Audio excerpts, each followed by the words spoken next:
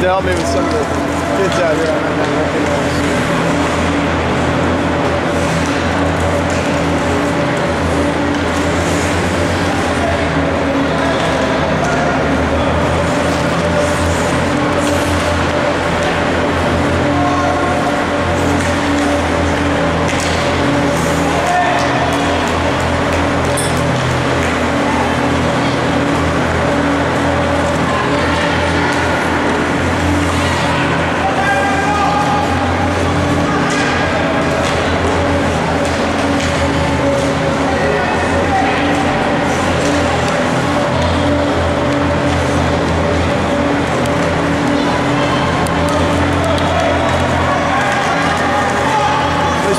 pass,